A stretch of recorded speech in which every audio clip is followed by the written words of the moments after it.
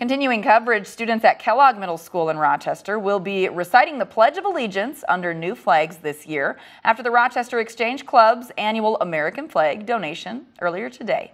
The group spent more than $500 to donate 60 new flags to fill the school's classrooms. A donation that the middle school says was very appreciated as it will allow the school to have new flags in its new classrooms after it finishes its planned renovations this year. The club said the goal of the donation was to encourage patriotism and a respect for those who've served our country.